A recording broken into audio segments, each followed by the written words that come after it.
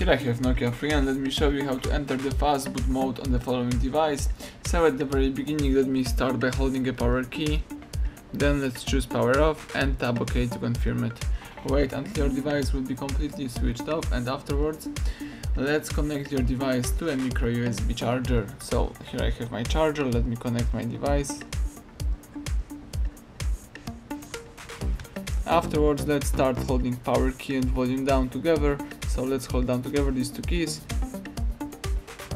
Keep holding power key and volume down.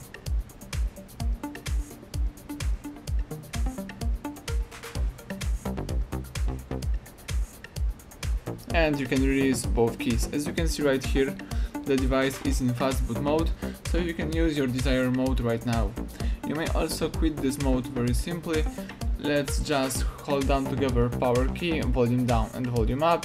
So let me show you how to quit this mode. Let's hold down together these three keys.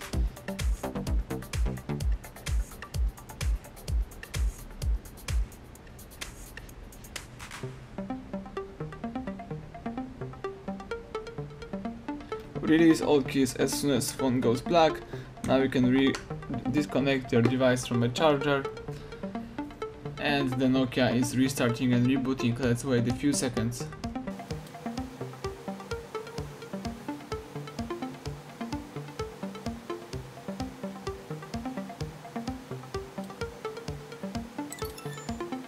Excellent. Now the phone is in normal mode you can unlock your device and start using it. Thank you for watching, please subscribe our channel and leave thumbs up under the video.